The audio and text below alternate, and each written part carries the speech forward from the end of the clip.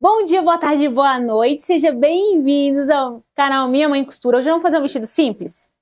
Fala assim, gente, é fácil, é simples. Não amei, vou fazer vários. Faça mesmo. A gente traz todos os tipos de modelagem, desde a mais fácil até a mais complicada, para todos os gostos. Lembrando que aqui embaixo fica sempre uma playlistzinha e essa de vestido além desse aqui tem outros que de repente faz a sua vibe, faz o seu estilo. Mas vai chegando, dando aquele gostei, se inscreve no canal, depois você passa aqui nos links debaixo do vídeo, vai zapeando, tem muitos presentes para você. Eu ia falar assim, não é Fabiano, porque eu já tô acostumado ao vivo mexer com meu marido? Ele fala, é mesmo, que eu já ia quase chamar ele, porque ele sabe junto comigo que a gente aqui só tem coisa boa pro povo e olha, eu vim te chamar a assistir todos os nossos vídeos todo dia da semana, tem um vídeo maravilhoso aqui para você. Tenho certeza que você vai amar. Agora eu vou vir para cá. Vou tirar a medida. O nosso vestido aqui, ele é simples, mas ele é cortado no viés. Então esse caimento que você tá vendo é porque ele é todo inteiro, mas ele não está com saia godê, mas com corte em viés. Ah, eu não tenho tecido para cortar no viés corte normal. Vai ter outro caimento? Vai, mas corte normal. Vocês vão ver o corte no vídeo da costura. Hoje a gente vai ver só a modelagem. Então vem comigo com as medidas que eu preciso aqui. De um ossinho a outro. Ai, eu dou aquela respirada, né, para ter a postura correta que eu uso do dia a dia. De um ossinho a outro aqui, eu meço as minhas costas. Depois eu venho aqui e vou medir o meu busto Vou medir a minha cintura, que são as medidas de circunferência, e vou medir o meu quadril. Deixa eu ajeitar aqui, ó, em cima do bumbum. Lindo, bonitinho. E agora eu vou fazer as alturas. Primeiro você vai marcar onde você quer o decote. Sempre é importante isso. Aonde que você gostaria que esse decote ficasse. Depois a gente vai vir com a altura da minha cintura e o comprimento desse vestido. São essas partes que eu vou precisar. Simples, é, tira suas medidas e vem comigo modelar. Mas antes eu quero deixar com você um recadinho muito importante, daqui a pouco eu volto. Então, bora lá, amor? Venha fazer parte do maior clube de modelagem e costura do Brasil. Conheça os benefícios de cada nível. No Clubinho, você tem acesso às nossas lives exclusivas e ao grupo de WhatsApp ou Telegram para tirar suas dúvidas direto com a professora. Tenha estes benefícios por apenas R$ 7,99 por mês. No Clube Gold, você tem acesso a moldes em PDF dos modelos da semana, curso de moda íntima, praia e esporte, curso avançado de modelagem e costura, curso de modelagem para iniciantes e intermediário e mais os benefícios do clubinho. Tudo isso por apenas R$ 14,99 por mês. E no Clube Diamante você terá acesso em primeira mão aos vídeos semanais e novidades do canal e todos os benefícios anteriores, custando apenas R$ 19,99 por mês. Escolha o nível que cabe no seu bolso e venha aprender com a gente. Minha Mãe Costura, seu canal para aprender modelagem de forma fácil e rápida.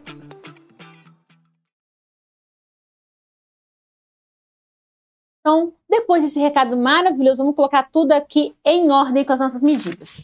Primeira coisa que a gente vai fazer é fazer a base do tubinho para depois transformar nessa parte.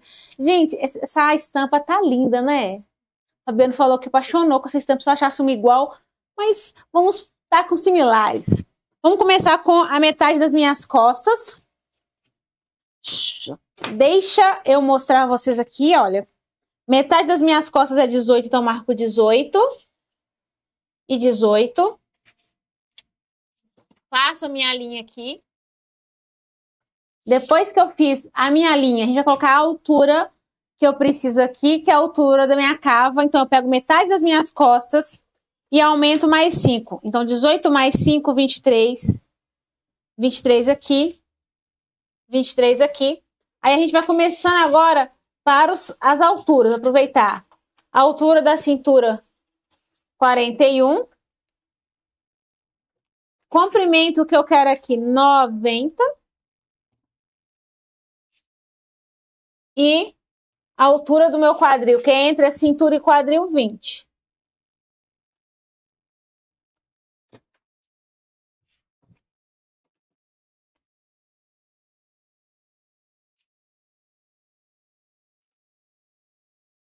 Então, ó, eu tô começando a desenhar essa base, ela já tá começando a sair.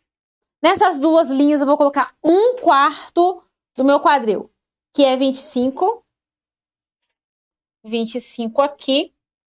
Vem aqui para a cintura, que é 19. E o busto 22. Agora eu vou fazer a parte aqui da lateral. O vestido, tá, gente? Ele tem essa amarração na cintura, não tem elástico, ele é todo solto. E é isso que a gente vai fazer. Vamos deixar ele todo soltinho, com o evasê tão grande. Olha você como é que é as coisas. O evasê é tão grande que ele não vem pra frente. Ele fica na lateral. As pontas do evasê descem. É o que nós vamos fazer aqui. Deixa eu pegar aqui papel. Meu papelzinho branco.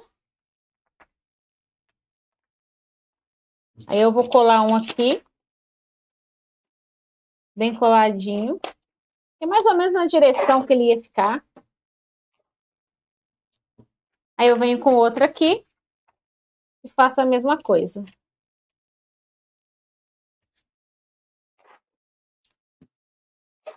Qual que é o tamanho do evasê? O que eu vou dar aqui é sugestão.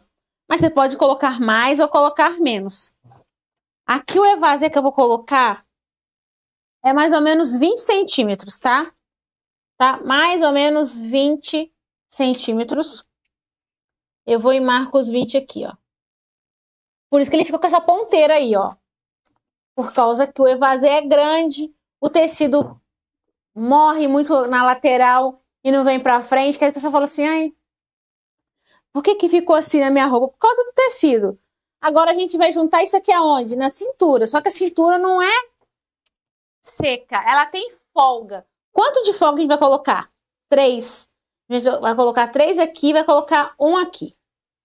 Então, vou colocar três. Estou colocando até a mais, tá? Poderia colocar até dois centímetros aqui, mas estou colocando bem grande para amarrar ele dar aquela folgadinha ali na cintura. Eu venho aqui e de lá para cá eu não tenho condição de fazer com essa régua. Vou pegar com a minha régua de metro e vou vir aqui, ó. Pronto. Ela faz isso aqui. Só que ela vai ficar com ponta. Eu vou dar uma acertada aqui, mas depois eu vou colocar um molde do lado do outro para acertar mais. Então eu venho ver quanto que eu tenho aqui, ó. 48,5. Aí eu venho aqui 48,5. Olha onde que ele vem. Olha o tanto que eu perco de ponta. Então, eu vou tirar ele aqui para eu poder produzir. E agora a parte de cima. Vamos lá. Ele tem alça regulável. Você pode fazer regulável, você pode fazer ela fixa. Isso vai depender de cada um. Vamos trabalhar aqui, ó. Três para as costas, quatro para frente. A partir da, dos quatro até nessa linha aqui da 19. Acha metade de 19 com 9,5. E entra um e meio. Aí vamos fazer a curva aqui dos dois pontos para as costas e dos três pontos para frente. Vou fazer o ombro e o decote para a gente poder mostrar como é que você calcula a sua alça se você não quiser regulável. Então, pega o 18 que está aqui, divido por 3 e vai dar 6. Então, marco 6 aqui. 2 aqui, a partir do 2, 6.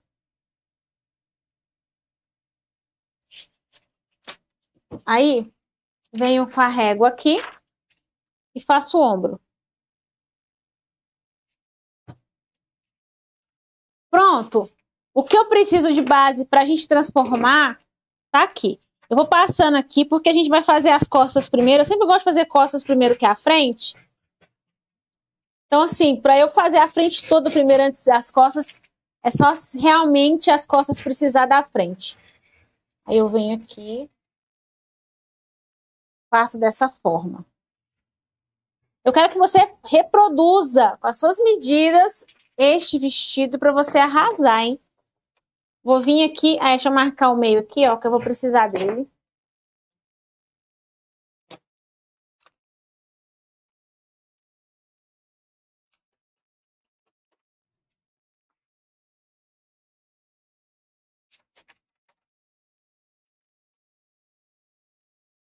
Aí pronto, vou deixar a frente aqui, não trabalhar com as costas. Vou escurecendo aqui, que aí dá tempo de Fabiano botar as costas para ir pra gente, pra gente ver. Olha lá como é que as costas são.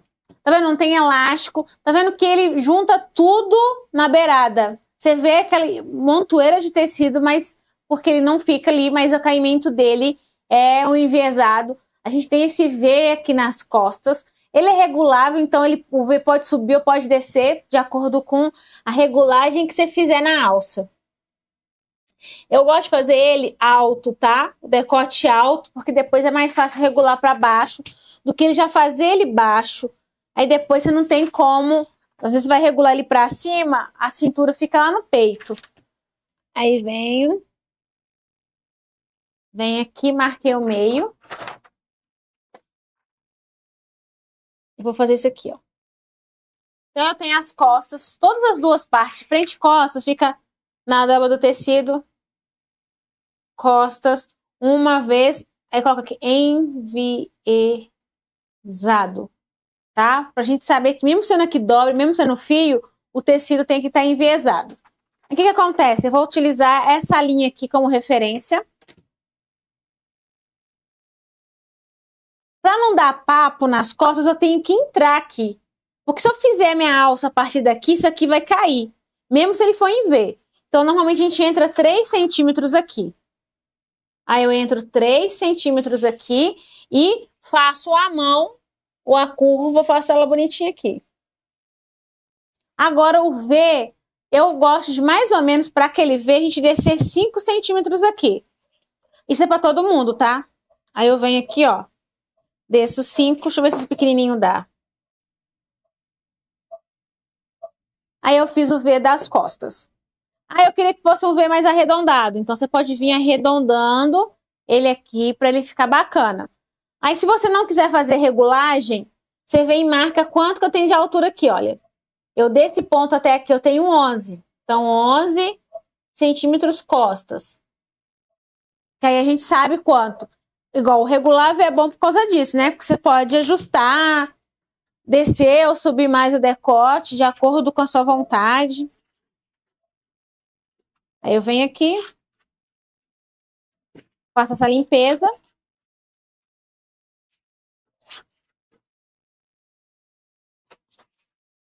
E venho aqui e limpo.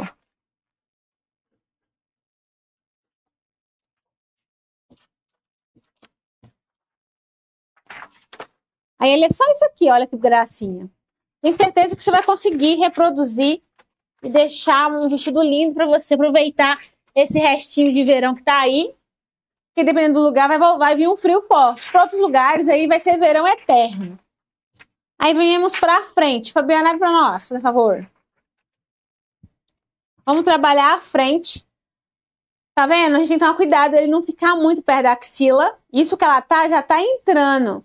Então, na hora de você entrar, igual a gente entrou nas costas, entre pra ele não ficar sobrando na frente.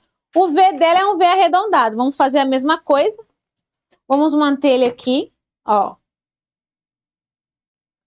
E a gente entra daqui para cá, tá? Os mesmos 3 centímetros. Ah, Edline, o meu ficou sobrando. Então, entre mais. Ah, o meu ficou com sobra aqui. Então, a gente faz uma pence, ó. Venho, entro 3 centímetros aqui. Faço a curva dele aqui. Aí você fala, ah, a curva dele aqui deu papo. Então, fecha uma pence antes de fazer, para ele não dar papo. Lembrando que ele vai subir, vai descer, dependendo da pence, ele trava você no lugar. E às vezes a gente pode tirar o excesso daqui aqui, ou tirar esse excesso entrando mais um tiquinho aqui, deixando ele quase arredondar, é, quase reto. Mas isso vai de cada um. Você vai escolher aqui o tamanho que você quer, lembrando que se você for abaixar mais, ele pode ficar muito decotado. Aí eu venho aqui, normalmente, eu gosto de meu decote é em 20 centímetros, ele não fica nem para baixo demais nem para cima. Então, marco 5 centímetros aqui. Se você quiser ver, você vem cá e faz ver, ó. Aí fez ver. Ah, não, eu quero igual da moça ali, mas arredondado. Então, você vem aqui, ó. Arredonda para você não precisar nem fazer aquele desenho do decote V, mas aí vai de cada um. Ou você mantém esse, essa parte reta aqui, ó, e só arredonda aqui no final, para não dar problema. Esse que é interessante. Aí, dobra do tecido. Frente é enviesada. Uma vez. Ah, se eu fizer camiseta, dá pra fazer camiseta assim? Dá. Dá pra fazer vestido assim também. Ah, eu quero colocar elástico. Dá pra colocar elástico. O importante sempre é você pegar o que tá aqui e modificar de acordo com o que você gosta. Eu vou pegar ele aqui, ó, e vou arredondar ele aqui em cima, tá? Não vou entrar muito aqui, não, para evitar dar papo. Aí eu venho aqui e faço ele aqui bonitinho.